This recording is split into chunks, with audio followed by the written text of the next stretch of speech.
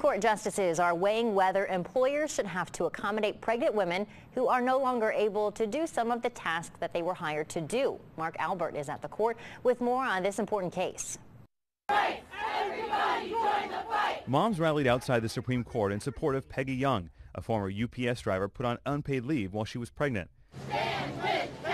Young's doctor told her she would no longer be able to lift more than 20 pounds, and UPS requires its drivers to lift up to 70 pounds. Once I got the note, I took it into the health nurse, and she basically said, we don't provide light duty for off-work incidents. Basically, you can't work while you're pregnant. That left Young without a salary or health benefits for seven months. She says UPS violated the Federal Pregnancy Discrimination Act. UPS said it was following the law, but recently volunteered to change its policy to offer more accommodations for pregnant women a move the company notes is actually ahead of many companies and government agencies. The lower courts sided with UPS. This case has united two camps behind Young that often oppose one another, women's rights groups and anti-abortion groups. A woman should never have to decide between starting a family or supporting her family.